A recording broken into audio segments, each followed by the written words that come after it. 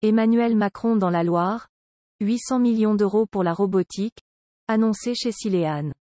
Une semaine après avoir esquissé les contours du plan France 2030, Emmanuel Macron est présent dans la Loire ce lundi 25 octobre. Le président de la République a profité de sa visite, en particulier au sein de la société de robotique industrielle Siléane, pour présenter son plan pour la robotique, doté de 800 millions d'euros dont 400 pour les robots embarquant de l'intelligence artificielle, comme ceux de Siléane justement. En raison de son passé industriel, le choix de la Loire pour illustrer l'industrie du futur n'est pas anodin. Un secteur sur lequel le pays a perdu trop de place, selon l'Élysée.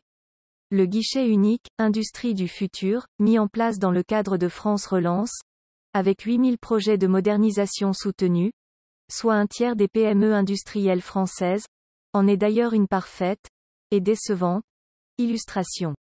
Si ces investissements ont effectivement permis de renouveler un parc français vieillissant, 17 ans en moyenne dans les PME, et d'améliorer la compétitivité des petites et moyennes entreprises hexagonales, une partie non négligeable de ces investissements soutenus par l'État français est venue alimenter la balance export de pays étrangers. Notamment de l'Allemagne, dont le leadership en matière de fabrication de machines et robots industriels n'est plus à démontrer, mais aussi celle de plusieurs pays asiatiques. Silean, l'une des entreprises qui pourrait être aidée, emploie une centaine de personnes et réalise un chiffre d'affaires de 20 millions d'euros, dans un secteur de la robotique.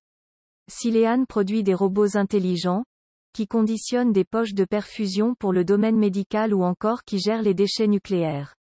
Point. Après l'entreprise Silean, Emmanuel Macron, qui se déplace dans la Loire pour la première fois, est arrivé à Montbrison pour dresser le bilan du dispositif Cœur de ville, mais aussi pour visiter l'ancienne frichée industrielle, GG, en passe d'être réhabilitée pour accueillir des logements et des commerces, un projet soutenu par le plan de relance qui permet d'éviter d'artificialiser des sols.